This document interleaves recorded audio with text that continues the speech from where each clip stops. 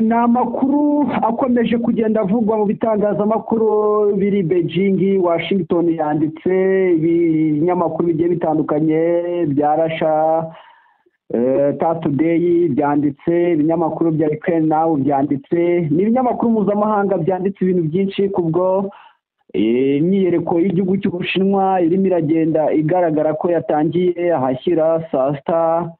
Ndetse mu gihugu cy'ubushinwa hano kuri iki kirwa cya Taiwan imyiyereko ikaba yatangiye saa sita z'ijoro gusa hano mu rwanda byari saa kumi n'ebyiri za mu gitondo. Bivugwa yuko ubushinwa bwamaze kuba bwatse ibisasu bikomeye cyane kandi birimo n'amasasu ya nyayo. Ibi bikaba byaje kugenda bigaragara rero yuko Taiwan na yo yaje kwiyamira cyangwa se guhuruza abayishyize muri ibi bikorwa. Nta bandi rero ni leta zunze ubumwe za amerika.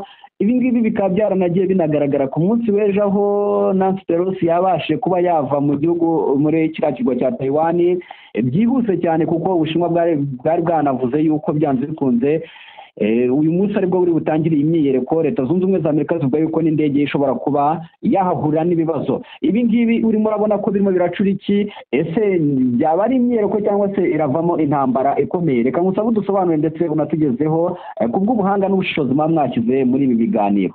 Yego reka mfate uyu mwanya nongere mbashimire. Ni ibikorwa n'ubundi byari byitezwe n'amahanga yose ko biri buze guhita bikurikira urugendo rwa nancy pelosi kuko ni gasopo Xi Jinping yari yatanze ku bihugu byo mu burengerazuba bw'isi. Cyane cyane leta zunze ubumwe za amerika zishishikaye mu kibazo cya Taiwan ndetse n'ubushinwa. Ni perezida Xi Jinping wari wihanije Joe Biden ndetse n'abandi bayoboranye igihugu aho yababwiraga ko ibintu bishobora guhindura isura mu gihe nanzi pelosi yaba agira urugendo rw'akazi hariya ku kirwa cya Taiwan. Urugendo ubushinwa rwavuze ko rufata nk'urugendo rw'ubushotoranyi kuri politike y'ubushinwa hariya ku kirwa cya Taiwan. Leta zunze ubumwe za amerika zaje kuba zirenga kuri aya magambo ya perezida Xi Jinping nawe rero nta kindi yari gukora. Ni ukwita yegereza amato y'intambara kugira ngo ahe Taiwan gasopo ko n'undi munsi mu gihe ipeke cyangwa se Xi Jinping bavuze ikintu kigomba kujya kita gishyirwa mu bikorwa kandi kikubahirizwa kuko peke peke ifata Taiwan nk'aho n'ubundi ari ubutaka bw'ubushinwa. Ubwo rero kutubahiriza amategeko ya Xi Jinping bifatwa nk'agasuzuguro ku bashinwa n'ubundi babarizwa hariya ku kirwa cya Taiwan. Rero ni Xi Jinping n'ubundi utatunguye isi kuko ibikorwa nk'ibi byari byitezwe ahubwo turacyari gukurikiranira hafi ngo turebe ikiza kuba kivamo kuko leta zunze ubumwe za amerika na zo zatangaje ko urugendo rwa nancy pelosi rushobora kuba rugiye guteza ibibazo muri kariya karere ka aziya si ibibazo mu karere ka aziya gusa ahubwo birimo biragaragara yuko isi igiye kujya mu kaga gakomeye. Ibi ngibi bikavugwa yuko ari n'impamvu nyamukuru yo kuba leta y'ubushinwa ibonye intandaro ndetse ibinyamakuru bigiye bitandukanye n'abahanga bagiye batandukanye bamaze kuvuga yuko bino bintu perezida Vladimir Putin perezida w'igihugu cy'uburusiya bifitemo uruhare rukomeye cyane biri bunamuhereze no kuba yakegukana uru rugamba yashoye mu gihugu cya Ukraine. Ibi ngibi rero bikavugwa yuko leta y'ubushinwa hari ikintu ishaka kuba ifitanyeho cyangwa se reka mbivuge nk'ibanga hagati ya Xi Jinping ndetse na perezida Vladimir Putin. Ese koko nawe urabona ko harimo akantu yego n'ubundi hasanzwe hari ubufatanye bukomeye cyane hagati y'aba bagabo b'abahangange mu isi. Perezida Xi Jinping ndetse na Vladimir Putin w'igihugu cy'uburusiya bakomeza n'ubundi kugaragara mu bikorwa by'ubufatanye hirya no hino. Ni abagabo rero basangiye amahame amwe y'abakominisite ni ibihugu bibiri bisa nk'aho biyoboye aya mahame ku rwego mpuzamahanga ku isi muri rusange. Ni ibihugu n'ubundi bikomeje kugaragara mu bufatanye bugiye butandukanye. Gusa ikibazo cya Taiwan ndetse n'ikibazo cya Ukraine bijya gusa nk'aho bifite ihuriro uretse ko nanone hari ikibitandukanya. Ni Taiwan yahoze n'ubundi ari ubutaka bw'ubushinwa. Ubushinwa bukaba buvuga ko n'ubundi leta zunze ubumwe za Amerika zagize uruhare nyuma y'intambara ya kabiri y'isi ko ikirwa cya Taiwan kibiyomoraho. Nanone n'igihugu nka Ukraine cyahoze mu bumwe bw'abasoviyete bwahoze buyoborwa n'uburusiya. Urumva ko ni ibibazo bibiri bifite aho bihuriye cyane rero nta kuntu aba bagabo bombi bari kurwana kugarura ubutaka bwabo bwo ubwabo nyine ari ibihugu byabo mu minsi cyangwa se mu myaka yashize. Nta kuntu batahuza ibitekerezo ndetse ngo banahuze ingamba dore ko n'ubundi basanzwe bafitanye umubano ugamije rero gushyira hasi leta zunze ubumwe za amerika. Yego reka twinjire mu kibazo nyamukuru ndetse ubu ngubu gikomeje kugenda kigaragara ko gishobora mu gihe kiri bukomeze kuba biri butere ikibazo isi yose. Ese leta zunze ubumwe za amerika ikigaragara nuko zamaze kugira ubwoba.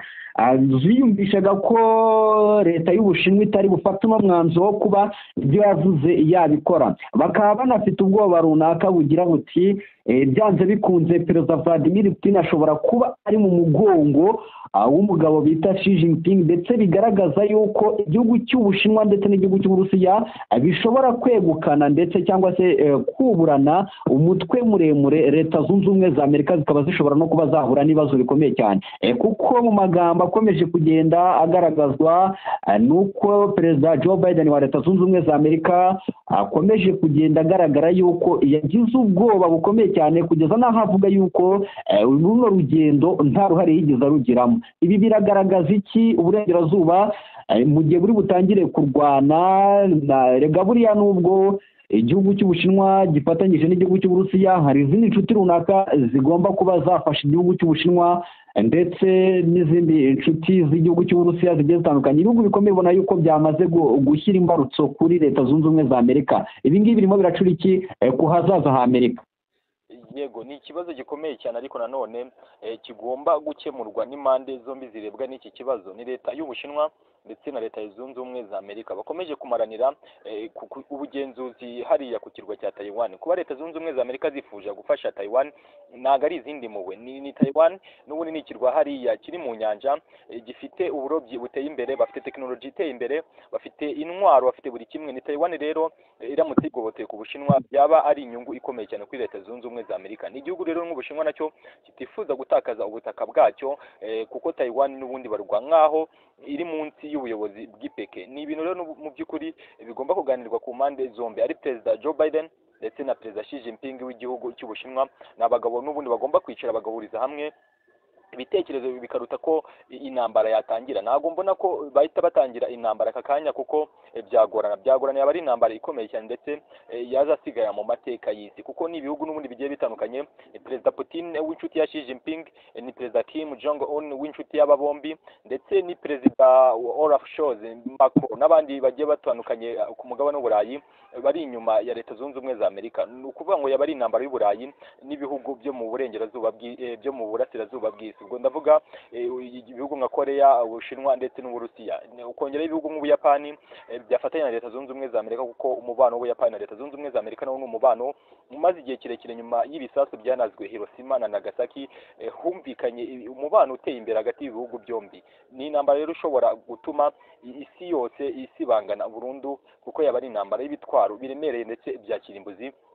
Bishobora rero gushyira akadomo ku mateka y'ikiremwamuntu hano ku isi yose muri rusange. Ndabona rero ko aba bagabo bombi ntago bahita bishora mu ntambara kuko bazi ko intambara barwana y'ibitwaro kirimbuzi yashyira isi ku iherezo. Ndabona rero ko ibiganiro ku mpande zombi ari byo bikenewe cyane kurusha uko buri ruhande rwakereka urundi icyo rushoboye mu rwego rwa gisirikare. Yego reka twinjire wenda ku kibazo cy'akanya gatoya ngiye kukubaza twinjiremo gatoya tunagaruka inyuma. Ubushinwa bwaje bwaje kugenda butangaza yuko iki kirwa cya taiwan cyaje kuba cyabiyomoraho ndetse bwemeza ko iyi ngiyi ari intara y'iki gihugu cy'ubushinwa. Bino byavuzwe yuko kino kirwa cyaje kubiyomoraho mu mwaka w'igihumbi kimwe na magana cyenda na mirongo ine. Bavuga yuko ariko uko byagenda kose bagomba kuzigarura kino kirwa kuko abi keza leta. Zunze ubumwe za amerika zikumva ko ibyo bintu bidashoboka kandi zo zikavuga yuko taiwan igomba kugira ubwigenge. Ese iri ryaba ari ryo herezo ubushinwa bwaje kuvuga yuko buzigarurira kino kirwa cyangwa se bizongera bifata ikindi gihe runaka?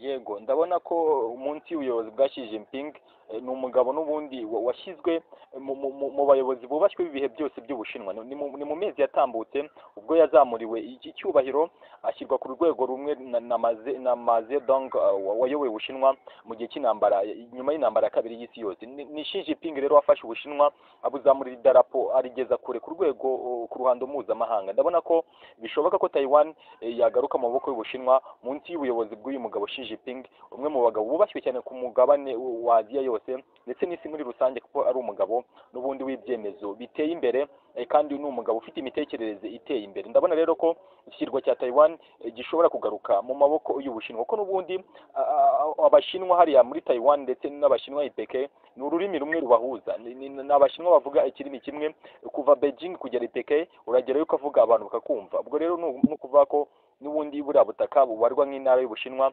Ndabona ko munsi y'ukuboko kwa ping peke ishobora kugarura buno butaka bukongera bukaba igice kinini cy'ubushinwa. Urakoze cyane. Reka nkushimire ku bw'amakuru muduhaye nanjye mbashimire.